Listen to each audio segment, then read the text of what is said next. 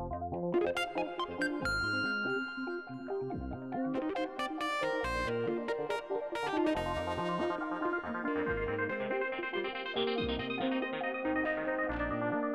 going on guys, welcome to my tutorial in Adobe Photoshop CS5. In this video I'm going to show you how to use gradients with text and how to use it just in general.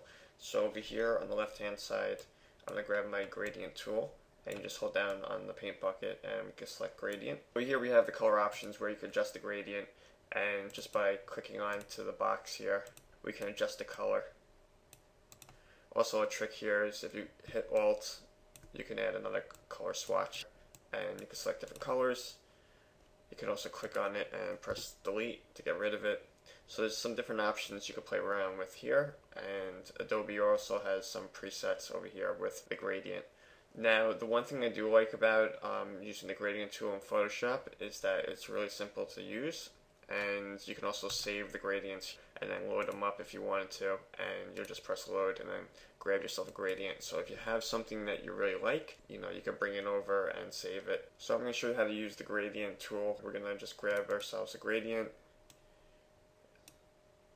There you go you just extend the line and you can do it in different directions I'm going to select uh, my text tool and let's type in Adobeasy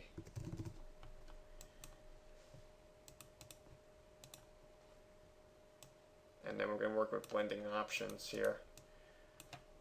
Right click on it, select blending options, and we have a gradient overlay over here, and you can adjust the gradient.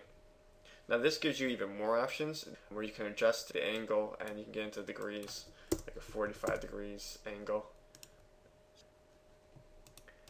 Right here you can actually come back to the gradient editor. So this is a little bit different um, if you just want to get your exact angles going and you can actually adjust opacity of the gradient. A lot of different things. The blending mode, we can also do different kinds of gradient styles. So let's say we want to use um, a radial gradient and the first thing that comes to my mind is like a sun. Over here we have different options again where you can select different kinds of gradients. Same thing that you saw in that tool before in the blending options. We could just select the tool and I'm going to create myself a new layer. And I think about with a radial gradient, you think about the sun.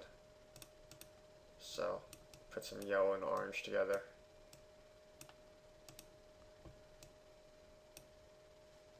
Um, that's it. That's gradients in Adobe Photoshop CS5. I hope you guys enjoyed this tutorial. I'll see you guys later. Cheers.